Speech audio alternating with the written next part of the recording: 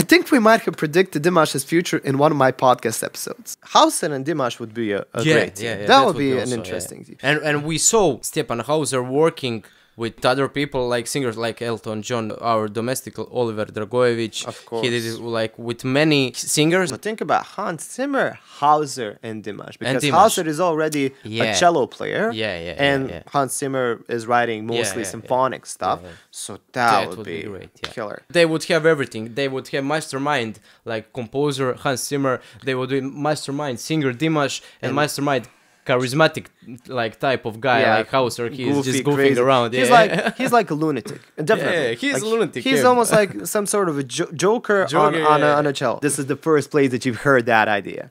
I don't think Yes. anybody had that idea. That's a great idea, man. Thank you very much. Amazing. And not long after that episode, this happened.